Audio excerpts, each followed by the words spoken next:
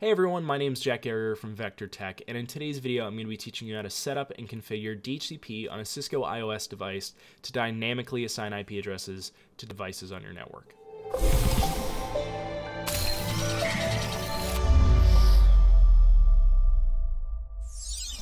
Alright, so to go ahead and set up this lab, what we're going to do is we're going to grab a switch, a 2960, we're going to plop it right there, and then we're going to grab two laptops, plop them here and here, and then connect them using copper straight throughs to our switch. I'm just going to use fast Ethernet 0 uh, slash 1 and 0 slash 2. So let's go ahead, let's get these plugged into the laptop. We'll fast forward time, and now those ports are up. Let's go ahead, let's get into our actual switch here, and we're going to do our first few basic configurations. We're going to do enable conf t, right, configure terminal, and then we're to go ahead and we're to give it a name. So we'll do hostname SW0. All right. Now we can get into the actual configuration. The first thing we're to need is we're to need a VLAN with an IP address. We're just to stick with the default VLAN, VLAN 1. So we're to go ahead, we're to interface with a VLAN 1, right?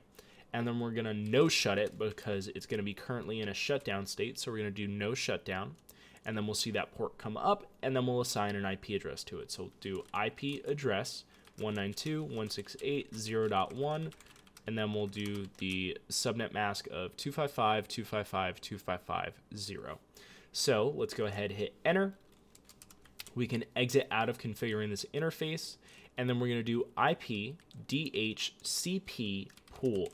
And then if we do a question mark here, we can see it's the name for the pool. So I'm just going to do star, star, star, default, VLAN, star, star, star.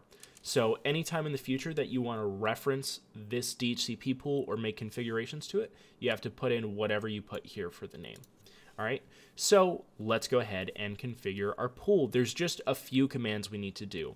So the first one is going to be network, right? This is going to be the network ID of this network. So for our case, right, our default gateway may be 192.168.0.1, but the network ID of this subnet is going to be 0.0. So let's go ahead. Let's do 192.168.0.0, and then we have to put the subnet mask, right? So we can tell it how big this network is.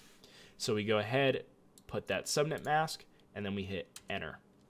The next thing we need to do is we need to put the default router. We need to tell uh, the devices where to route their traffic. So we're going to tell it default tech router 192.168.0.1. That's going to be our default gateway, right?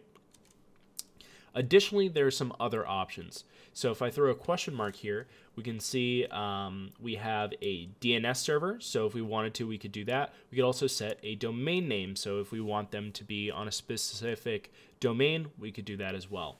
Uh, there are also some DHCP options. So these are really useful if you're setting up a Windows deployment server and you need to configure certain um, PXE boot options and things of that nature. However, we won't need them for this example. The next thing I want to show you guys is how to set up a DHCP exclusion um, or an excluded address. The reason why these are helpful is because if you are doing a mixture of statically assigning and dynamically assigning IP addresses on your network, uh, then you can issue out on accident a duplicate address. Let's say I statically assign 192.168.0.10 to a server on my network and then our DNS server doesn't have any exclusions set up, so it or our DHCP server doesn't have any exclusions set up, so it issues out that 10 address.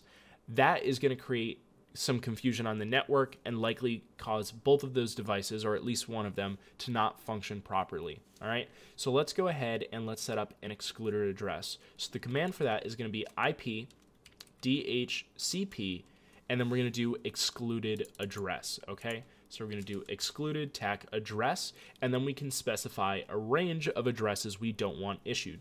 So we're going to do 192.168.0.0, which we don't need to specify 0.0, but we'll do it anyways. And then we're going to um, supply the high IP address. So this will be whatever uh, the range we want is. So in this case, we'll do 192.168.0.25. What this means is when we go ahead and we request a DHCP address, the first available address is going to be 26. So let's go ahead and give that a shot. We can go ahead X out of here, come down to both of our devices, come into IP configuration and select DHCP, and we should see here that it requests a DHCP address. So we can see 26, the right subnet mask, and the default gateway. If we come here, do the same, we can see it pulls it, and I can go ahead and I can ping 192.168.0.26. And just like that, we're all done. DHCP can be very simple, but it can also be very complex. This is just the basics, uh, and there are definitely a lot more options. Uh, there are relays, there are DHCP helper addresses, which is if you're hosting a DHCP server on another device, uh, you can point your devices on this uh, part of the network over to that guy so they don't get lost in, in attempting to find an IP address. Uh, and that's that's pretty much it. If you guys like this video, go ahead drop a like down below. If you didn't like it, drop a dislike, and if you really enjoyed it, tell me why in a comment, tell me what you'd like to see in a future video, and until next time, have a good one.